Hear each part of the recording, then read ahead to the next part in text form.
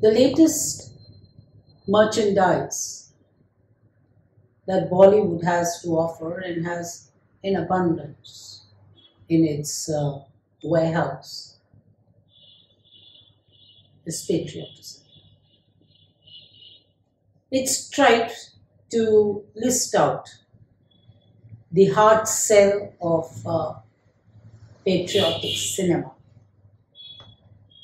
ranging from the most abrasive to the least subtle. There are all kinds of films that seem to suggest that if you aren't, if this is the time for you to be patriotic, and it's a now or never scenario, this is celebration time. Is there any coincidence? Is there a time denominator? We are all too close to history to look at it objectively. I think sometime down the line, when the remains of intellectuals wake up to write the pages of this period of our history, they would arguably write about the intellectual talent, its integrity, and the freedom with which they exercised it in a period of time. Reverting to the mains and to talk about the film I'm talking to you about is about this hero, the Yodha, played by Sidharth Malhotra and conceived by Sagar Ambre and Pushkar Ojha, the directorial twins, or the directorial duo. Well, if one can't, two can't either, is what Yodha is about. You had five Tejas, you had Fighter, you had Gunjan, I can go on naming a few more. Films of uh, thrills on the midair, thrills, thrills in midair, the thumping patriotism of the Indian. We've never fallen short of it. Why is there an oversight? Hardly, I think we're one of the most patriotic countries, and one of, considering we are one of the greatest ever countries in the history of mankind. Why this oversell, I can't understand. We are so good, we are so brilliant, we have such great artists, and what a great civilization, and we are doing so well. So why this hard sell is there? Something hidden there, I am not able to decipher. But I can tell you this much, Yodha is a non-starter. Well, if you chose Sidharth Malhotra and Raashii Khanna as your main actors in a film, and you have a support cast, none of whom the average film goer is going to identify unless he's done a Google search before he got into the theatre, you know that this Dharma production has not spent enough and more on its actors. Also notice that some 20 years ago, our cinema had a definable set of actors who played different kinds of character roles and you identified them and you saw them on screen.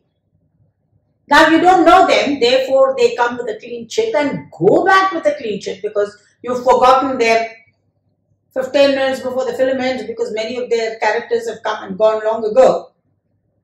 And the tragedy is, while the filmmaker may have the view that he's hidden the nuance of a character and sprung him on you at an unexpected time, on screen you can make out who's the good guy, who's the bad guy, and you forget their names even before you can spell them. This is a problem also with most of the cast in Yodha. And this is coming from a guy who's a reasonable film buff, who sees cinema often and keeps talking to you about it. And if this be my plight, it's going to be very difficult, in fact, bordering on challenging to many a film viewer to know who's who in a film. And with added beards and rustic looks, sometimes many of them look similar you sometimes make an effort to find out whether he's on this side or on that side, on the right side, the wrong side of the border. Coming back, This is a border dispute. Again, you know who the enemy is. There has been a plane hijack, Operation One, where a special force, which was historically created by Surinder Katyal, played by Ronit, Ronit Roy, Roy, were martyred. And he has a wife in Farida Patel Venkat, who for some strange reason has a eight, nine minute role in the entire film. Every time she just has to come in a wheelchair, stare at a few people and go back. That's all she does in the movie. Then we have Junior Katyal or Arun Katyal, which is Sidharth Malhotra, who is in this flight which is hijacked. And he finds it so easy to cut open, get into the cabin, move into the luggage area. Unfortunately for him, he's an action man and he fails to deliver in this operation when he's been told to keep quiet. Both on the ground of failure and for insubordination, he is court-martialed and placed under suspension.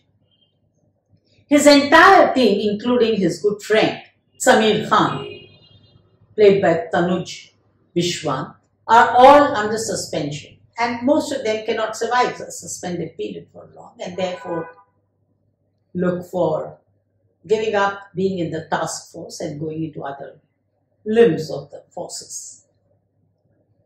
But to Arun, his connect with the special forces that it was his dad's creation, his twin brother, and therefore he wouldn't Fast forward, he has serious misunderstandings with his wife Priyambada Katyal. The marriage is on the rocks. They've exchanged divorce papers. Priyambada is incidentally played by Raashii Khanna, who is a high-level bureaucrat who's in the thick of the hijack and is a part of the person who's called upon to give evidence and is honest in her evidence, which leads to the suspension of her. Fast forward, uh, there's another flight that Arun Katyal takes, another flight which is being hijacked. The timing is perfect because uh, there's a high level talks between the heads of nations of India and Pakistan and uh, somebody out there wants to sabotage it. do they sabotage it? How do they go? This time around on flight he has Disha Patani who plays uh, Laila, the main crew member. There's also Kritika Bhardwaj, who's playing Tanuja Sharma, a suspect for her odd behavior. Then there is uh, one man called Dhingra, played by Chittranjan Tripathy. Everybody is throwing their weight around so artificially on this flight, a sensitive flight going to Amritsar. And everybody's antenna is up, they're over the top, and the filmmaker doesn't lose an opportunity to zoom the camera on everybody so that you can suspect all and sundry. The hijack happens. Again, it's coincidental, or is it, that Arun Katyal is on flight. The rest of the film is all about how brilliant we are, how much of courage talent capacity you guys have and how we are such a great set of people who are willing to give up ourselves for the country, etc., etc. And then we are all tired and we say, okay, fine. And what does this film finally do? This pulpit patriotism is, I think, getting a little bit tiresome. You may have a biography releasing this week, you may have a political, historic films, a new Kashmir Files is on, the 371, Article 371 is out. A lot of these kind of cinema that's making us all very conscious, very knowledgeable. We have been sensitized to all that we need to know. Wonderful. Indian cinema has become so proactive. Great. Dharma Productions, hands off to you. Uh, let's wait very soon. They may also be on board producing something like Kashmir Files and uh, Article 371. And we can all sit back, enjoy. We can have our popcorn and coke. After all, we are all very patriotic. And we need to be very patriotic, you see. It's one of the biggest virtues. And we are told about that so often, in spite of the fact that it's so ingrained in us. Sidharth Malhotra, to carry an entire film as weak as this on his shoulder, suspect, bad engineering. Disha Patani, as an air hostess, is good. But to give her more than that was unfair, both to the script and to Disha Patani and to the audience. Raashii Khanna, I don't think even the filmmaker took it seriously. He took her almost as seriously as he took Farida Patel Venkat. This Chittranjan Tripathy who comes with a few moments that we have to search, dig, scrape and find something positive.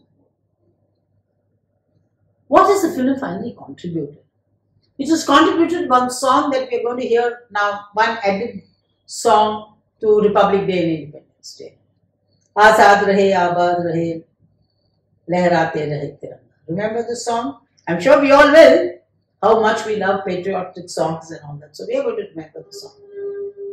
I'm only worried that uh, Dharma Productions and uh, Sagar Ambre and Pushkar Ojha were a tad disappointed that the audience did not stand up and salute out of reverence and treat um, Azad Rahe, Abad Rahe, Lehrate Rahe Tiranga as a new anthem of this country. But by the time, the only reason they may not really have saluted is they were digging into their popcorn boxes or they were sipping their coke. And they are more, they are those kinds of priorities, you see. Otherwise, Yodha is a off-key battles soldier on a thoroughly messed up battlefield. Sign off with that. Acknowledging both Abhinav and Datu for contributing to this exercise, reaching out to all of you. Do write sometimes to me. I sign off most often, and most often people have better things to do than comment about my comments about bad cinema. Understandable. But I do acknowledge your patience on watching this review and continue to hope that some of you would write back to me. On that note, bye bye.